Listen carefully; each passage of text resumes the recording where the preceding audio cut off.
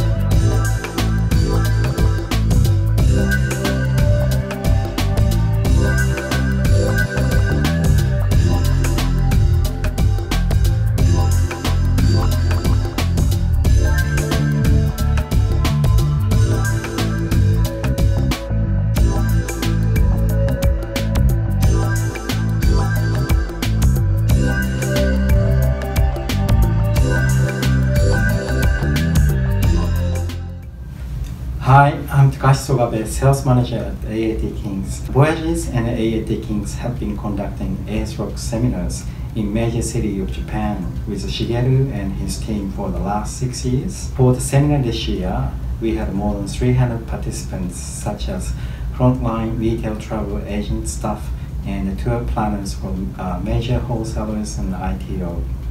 Uh, it was remarkably successful seminars and we are very pleased with the number of attendees.